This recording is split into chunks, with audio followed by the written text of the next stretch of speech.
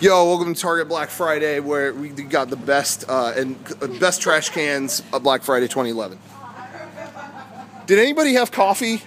I think they have a Starbucks. Someone didn't dispose of their coffee properly. Who here had coffee? There's got to be. What happened? What was that? I think there's tomatoes in there. Oh, and then there's tomatoes. But did someone? Did anyone have a hot beverage tonight? There's just no evidence.